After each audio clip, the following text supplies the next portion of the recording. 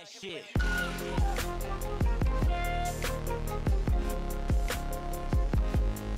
Shit. What is going on guys? It is Base SM and today I'm going to be showing you guys how to install multiplayer mod on one of my favorite games, Kerbal Space Program. We're going to be using the dark multiplayer mod and I'm going to be showing you guys how to set up the client just so you guys can get to servers but I will do a separate video on how to make your servers. So just go ahead and open up Google, type in KSP DMP for Kerbal Space Program Dark Multiplayer mod. Go ahead and downloads, update your client, hit those real, hit those two real quick as you can see. I already have those. You can go ahead and hit show in folder. I don't need those anymore. So as you can see, I have them on my desktop. You guys are going to want to go to your directory, your Steam directory, or your game directory, it's probably in your Steam, so it's probably going to be in program files 80, 86. You're going to want to look for Steam. Then you want to go to uh, Common and then Kerbal Space Program. And so what you're going to want to do, you're going to open this up right here.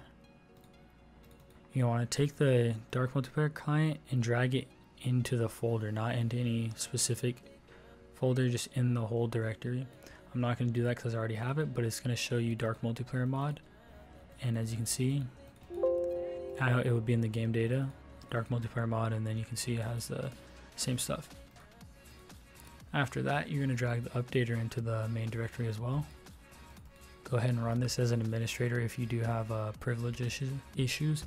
You can hit enter and uh, it will run that. Mine just runs automatically, but sometimes you do have to hit a button to get it going. But then it'll say your uh, client's up to date because sometimes uh, if you don't do that, uh, the game won't work. So Let's hop into Kerbal and show you what it should look like.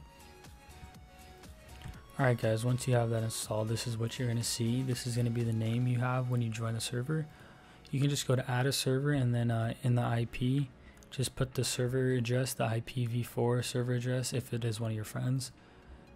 Add it, give it whatever name you want, and then connect. I have to go open my server because it's closed. Let me run this real quick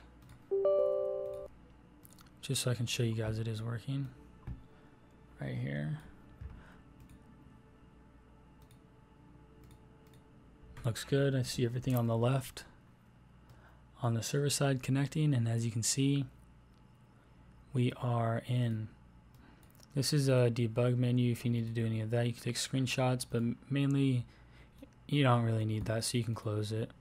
And uh, this is me and Predator server as you can see we have a we have a lot going on around here, so that's pretty cool. But I hope that helped you out, guys. And uh, leave a comment if you have any questions. But make sure to subscribe, and we'll see you next time.